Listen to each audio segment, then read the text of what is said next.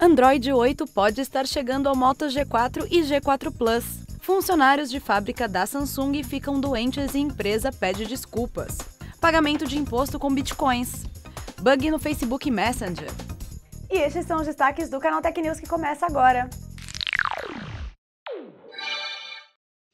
A Motorola vai mesmo voltar atrás na sua ideia de não atualizar o Moto G4 e o G4 Plus. Isso porque, depois de excluir os modelos da sua lista de updates e ser bem criticada por isso, a fabricante liberou nessa semana uma nova versão do firmware dos dispositivos que já traz atualizações de segurança da versão 8 e também alguns dos seus elementos.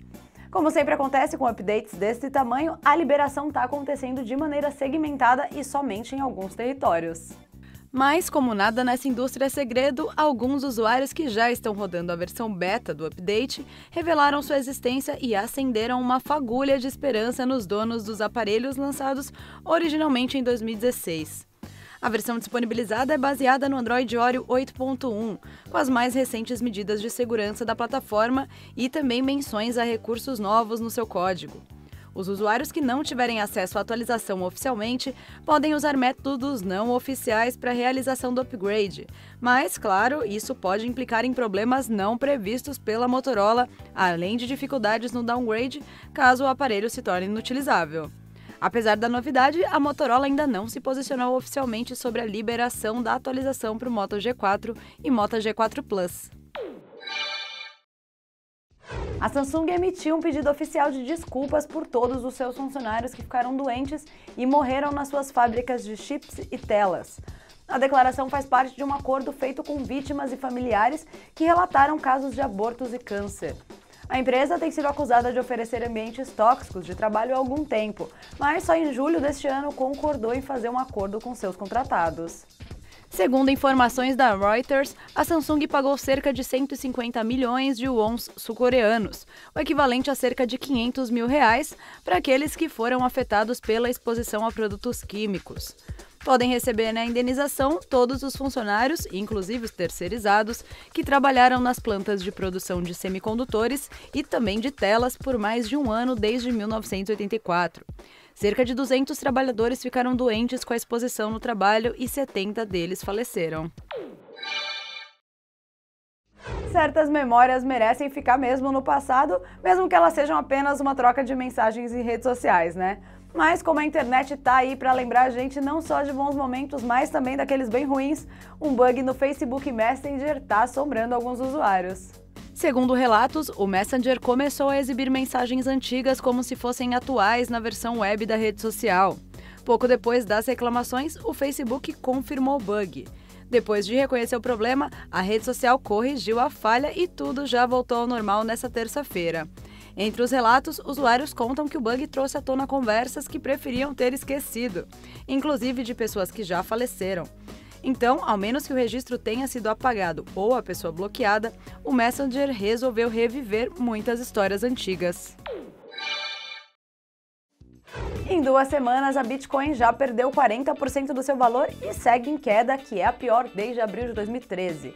Mas parece que isso não assustou o estado norte-americano de Ohio, que se tornou o primeiro a aceitar pagamento de impostos com a criptomoeda, de acordo com o The New York Times. Por enquanto, o recurso está disponível apenas para pessoa jurídica, mas em breve pessoas físicas também poderão adotar o método. A proposta veio do tesoureiro de Estado Josh Mendel, o entusiasta das criptomoedas. Mendel acredita que a nova ferramenta vai dar comodidade a alguns usuários e também tem intenção de cravar a bandeira no estado de pioneiro na adoção desse tipo de moeda. Ele ainda acredita que o sistema, por usar uma tecnologia de blockchain, pode ser mais seguro e menos passível de irregularidades.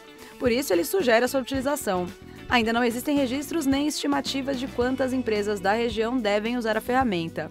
Além de Ohio, outros locais como Arizona, a Georgia e Illinois também consideram adotar a moeda em pagamento de impostos. No início da noite de ontem, a NASA comemorou o pouso bem-sucedido da sonda InSight na superfície de Marte. Enviada em maio, sua chegada estava programada para o final da tarde de ontem. E os poucos e tensos minutos de descida entre a entrada na órbita e a chegada à superfície mostraram que tudo aconteceu conforme planejado. Agora, a InSight cumprirá uma missão de dois anos em que estudará o interior do planeta vermelho, com o objetivo de ajudar os cientistas da NASA a entenderem não somente a formação de Marte, como a de todos os planetas rochosos e luas rochosas do sistema solar. A sonda também vai analisar os tremores de terra que acontecem em Marte, que foram apelidados de Marte-motos. A ideia da NASA é estudar as informações obtidas enquanto se prepara para enviar astronautas à Lua e depois para Marte. Depois de ter acionado seus dois painéis solares, responsáveis pela captura de energia, dentro de dois dias a sonda vai acionar o seu braço robótico, que é o responsável por fazer fotografias e também posicionar os instrumentos científicos no seu devido lugar.